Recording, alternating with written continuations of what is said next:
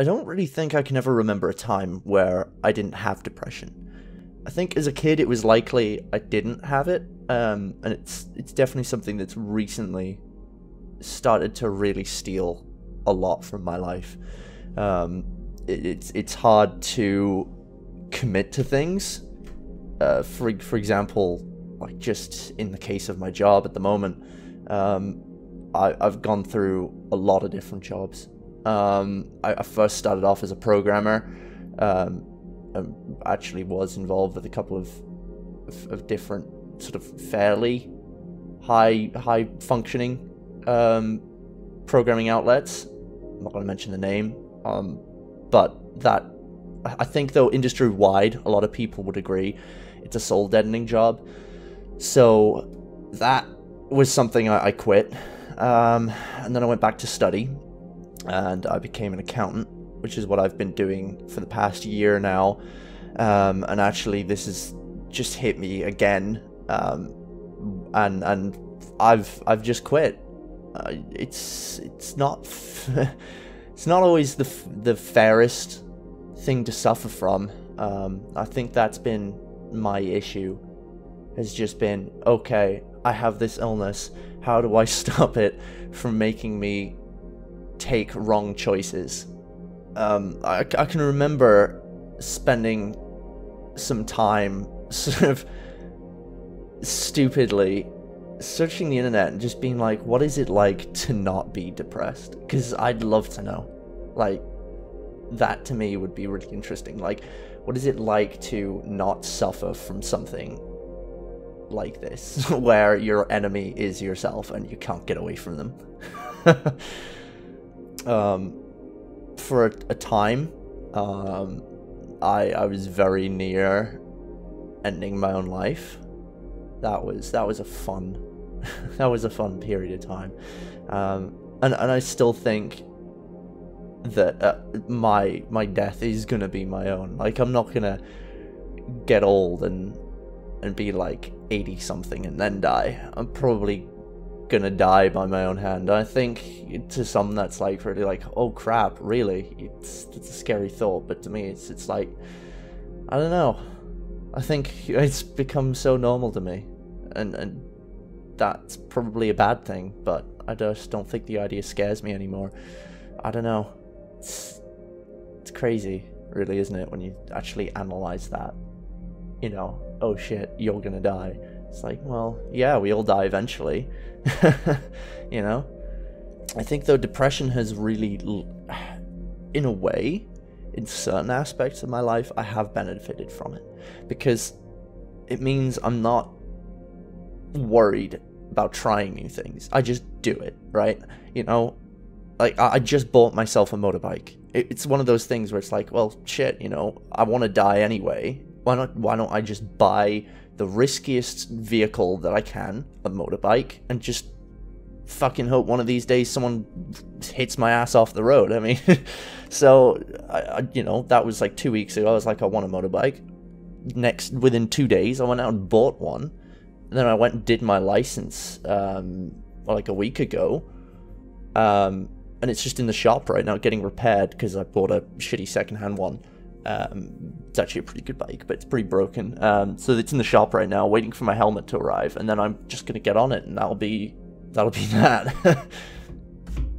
it's, it's, I I think that's a lot of it. It feels like having depression is an addiction, so to speak. Not that I've ever had one, and I think you constantly try to find these coping measures that are not good for you but you keep doing them anyway because it's like, well, this is all I know. This is this is all I can do.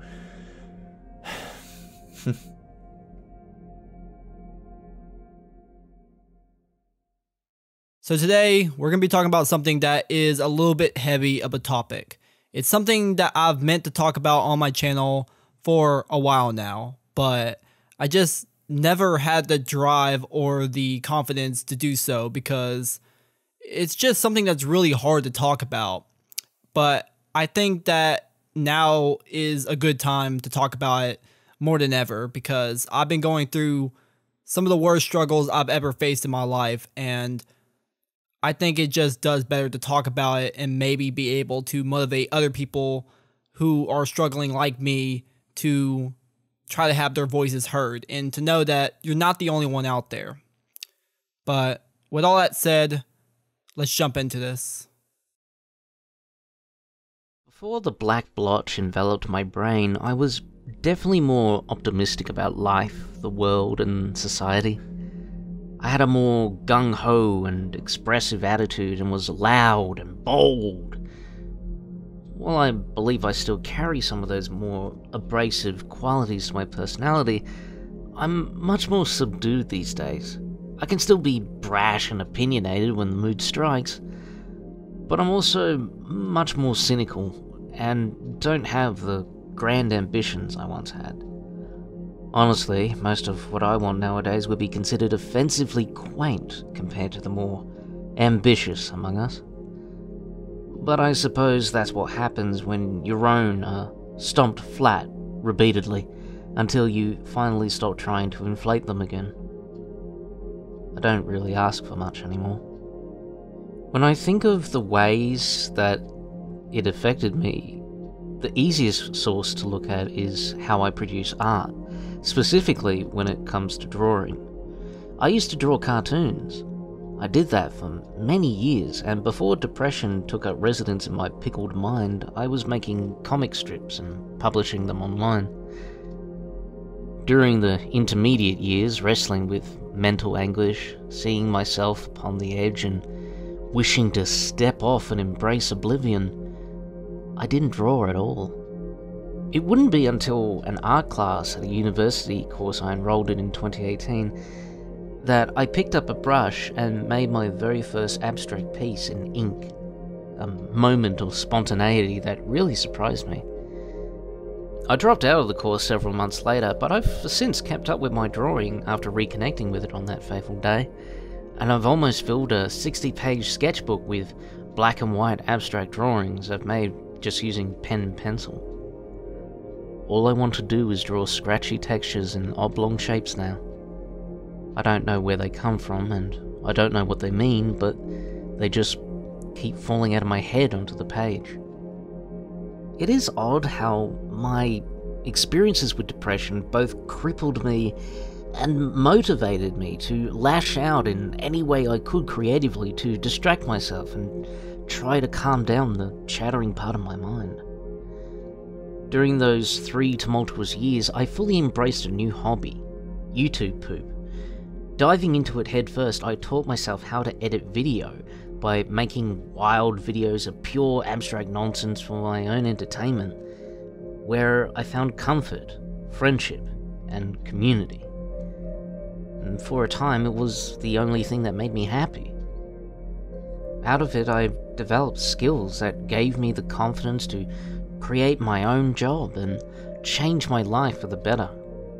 It's surreal to acknowledge that depression pushed me to carve out a new direction for my life, and now I'm embracing it wholeheartedly. It almost killed me, yet motivated me to fight harder than ever before and take steps that have now given me some semblance of hope for the first time in years. Depression hurt me. It changed me warped my perspective, and brought me to the very edge where I wanted to end it all. But I'm still here. I'm still here because I refused to let it beat me. I only hope others can find the same strength within that kept me going. Most of my childhood was centered around bullying, isolation, and a general lack of confidence in myself and who I am. And yeah, a lot of that has unfortunately leaked its way into my adult life. There was a time where I was pretty good at hiding my struggles from the world around me and the people that love me, trying to wear a smile on my face and laugh in the face of all those dark thoughts that were clouding my mind from day to day. But unfortunately, it has recently become incredibly difficult to wear that same smile. Maybe it's a side effect of bottling up all those emotions for so long. I never really made much of an effort to speak to people seriously about the issue back then. Not my family, and not my friends. I decided to instead struggle on my own in order to lessen the burden on those around me. Because mental health is hard on everyone who is exposed to it. But why am I saying all this? What is really the point of talking about my problems to a bunch of people on the internet who don't know me and probably will never know me? Well, because we really need to talk about these kinds of topics now more than ever. Many out there, especially the older crowd, love to discount the real issue that is staring this generation in the face. I've said this many times to people in my personal life, and I will keep saying it until the day where it clicks in people's minds. Depression doesn't give a shit about how many gadgets or toys you have, or how much money you have in your bank account. It doesn't care if you have zero friends, or a hundred friends, if you're married with kids or not. You can be at the highest point in your life everything is smooth sailing and the parasite that is this big sad this depression will slither its way into your life and just raw dog the shit out of whatever you have going on. It doesn't give two fucks about where you are in your life. The worst part is I have to battle this toxic point of view even with my own family who've asked on multiple occasions, what do you have to be depressed about. But I don't feel like me or anyone else has to justify why we are feeling depressed.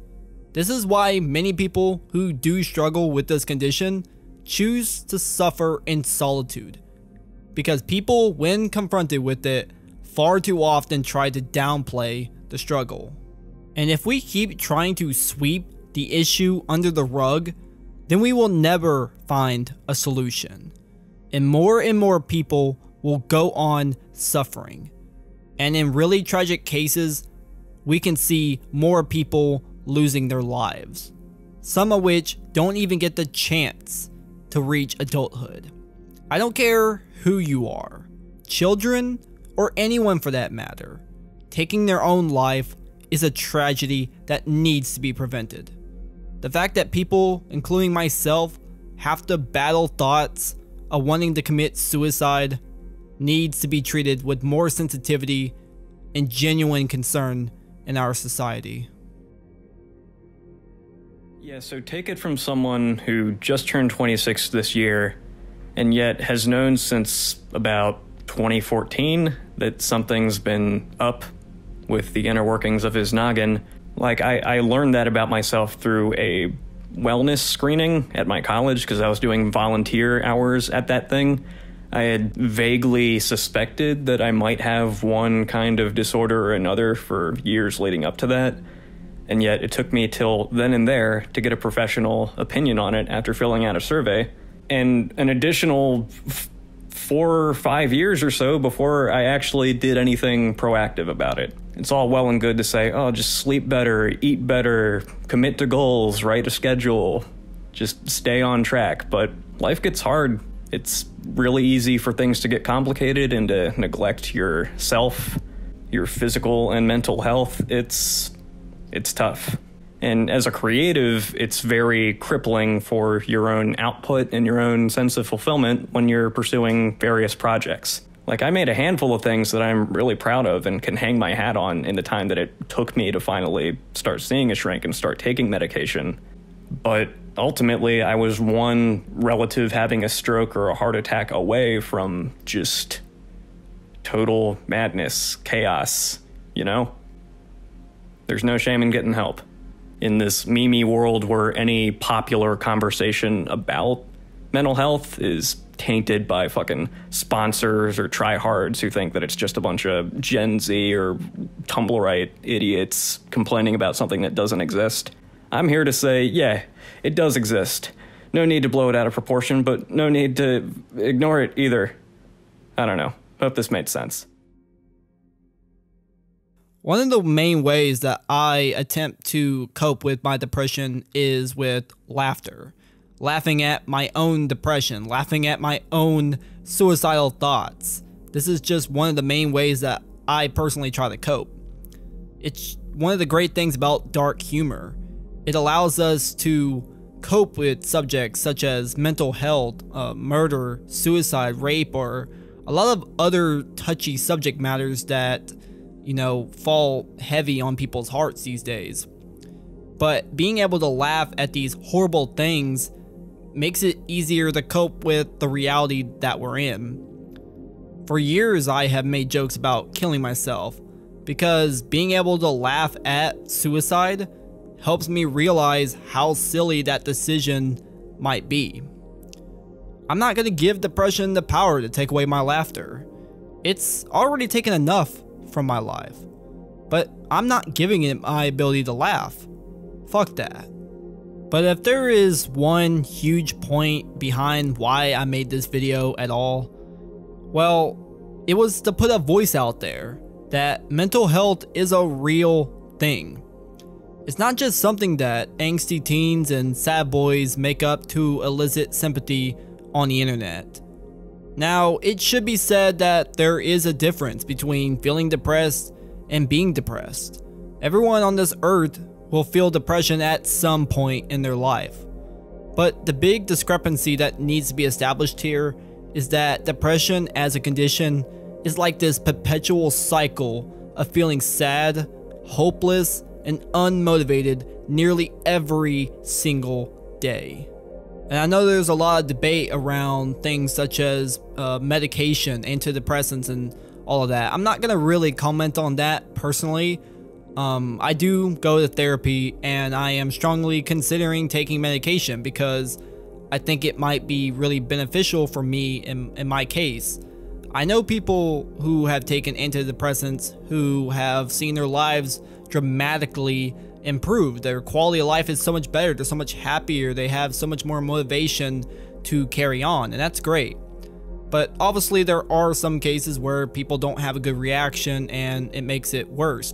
And uh, both sides of the coin are 100% valid. Really, the whole point here is that the first step to the solution is that we need to acknowledge people's struggles not downplay or dismiss someone else's experiences just because you don't understand it or haven't personally been through it yourself. I nor anyone has to justify why we have such a negative take on life. So, if you want to take anything from this video, just please try to practice empathy. It can go a long way in reminding someone that you do care about them and that you're there for them. You might not be able to understand why they're going through what they're going through, but you're there by their side and you're supporting them, reminding them that they are never alone in the world. And that really can change someone's life. How long have you battled depression and how has it affected your life? Uh, well, I've been battling depression since uh, mid 2017 i think that would be two years and it has affected my life very drastically. I dropped out of school for it you know because of my severe depression which was in 2018 and i have social anxiety now. And even though i'm trying to uh, improve on my even though I'm trying to better myself, uh, it has never gone away. Like I've been to therapies, multiple therapies, and you know, been taking medicines for it. I mean, like it has uh, gone down since then, but it hasn't fully recovered uh, me. I mean, like I haven't fully gotten recovered from depression but I'd say uh, it's getting better, I guess. Even though at the time of this recording, uh, I can't talk properly. I can't be enthusiastic. I feel like whenever, whenever I try to, you know, record myself on, like doing a voiceover or something like that, even for a YouTube video or anything, I don't come out as a real person. You know, like I can't, like I'm not able to express myself fully yeah i think depression depression I think depression has like affected me very drastically. Even though I feel like it's getting better, it hasn't gone away. I do have hope that you know I'll get better someday. Yeah. But that's really all I've got to say about the topic. I know, very heavy. My channel is usually not this um, depressing, uh, no pun intended, but I just think it was the time to finally say something because I just feel this issue has been kind of staring me in the face for a long time and I just I really wanted to put my voice out there along with other people. I really appreciate everyone who uh, gave me their testimonies to put in this video. I really appreciate it. Like at first this was just gonna be kind of a personal video talking about my struggles, but then I talked to some other people and I realized this could become something more. I could it could be just more than me talking into a microphone about my experiences, but showing that it's not just me, but that there's other people and it helped me see that, you know, I'm not the only one going through all this. There's other people who feel the exact same way that I do, and that's comforting. And I hope that anybody that's watching, if you're going through struggles, please try to take this video as, you know, the confidence to realize that your voice can be heard, your feelings are 100% valid, and that there's a lot of people out there that understand what you're going through, and you really don't have to be alone in this. But with all that said, I will catch you guys in the next one.